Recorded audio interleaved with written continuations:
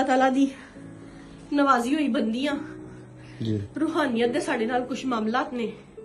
Main ਬੰਦਾ ਮੇਰੀ sister ਹੈਗੀ ਏ। 7 ਸਾਲਾਂ ਤੋਂ ਉਹਦੇ ਨਾਲ ਇਹ ਕੀ ਨਾਮ ਮਾਮਲਾਤ ਨੇ। ਉਹਦਾ? ਸਨਾ ਅੱਲਾ ਉਹ ਲਾਹੌਰ 'ਚ ਹੈ, ਠੀਕ ਹੈ ਇਹ ਵੀਡੀਓ ਉਹਦੀ ਏ।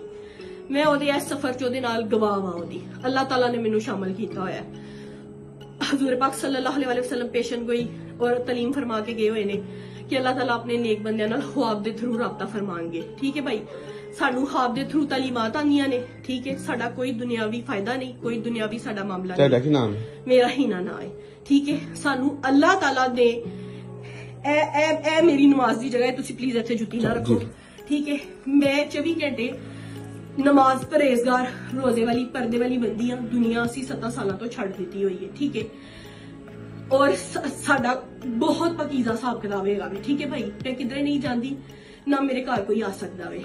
ਐਸੀ ਜੋ ਬਿਆਨ ਦਿੱਤਾ ਹੋਵੇ ਮੇਰੀ ਸਿਸਟਰ ਨੇ ਉਸ ਰੱਬ ਦੇ ਹੁਕਮ ਦੇ ਨਾਲ ਜਾਰੀ ਕੀਤਾ ਵੇ। ਅਸੀਂ ਕਿਧਰੇ ਵੀ ਪਿੱਛੇ ਨਹੀਂ ਹਟਾਂਗੇ। ਜੇ ਸਾਡੀ ਕਿਸਮਤ 'ਚ ਸ਼ਹਾਦਤ ਲਿਖੀ ਹੈ ਮੈਂ ਖੁਸ਼ੀ-ਖੁਸ਼ੀ ਕਬੂਲ ਕਰਾਂਗੀ ਠੀਕ ਹੈ? ਬਾਕੀ ਭਾਈ ਇਹਨਾਂ ਸਾਰਿਆਂ ਦਾ ਹਿਸਾਬ ਨਹੀਂ ਬਣਦਾ, ਇਹਨਾਂ ਕੋਲ ਦੀਨ ਦਾ ਇਲਮ ਨਹੀਂ, ਇਹਨਾਂ ਨੇ ਤਰਜਮਾ ਨਹੀਂ ਪੜਿਆ ਮੈਂ ਤੁਹਾਨੂੰ ਕਹਿ ਰਹੀ ਹਾਂ ਕਿ ਕਿਸੇ